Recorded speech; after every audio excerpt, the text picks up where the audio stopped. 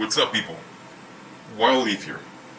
Today we're gonna be using these dragonflies to make a good, nice tempura.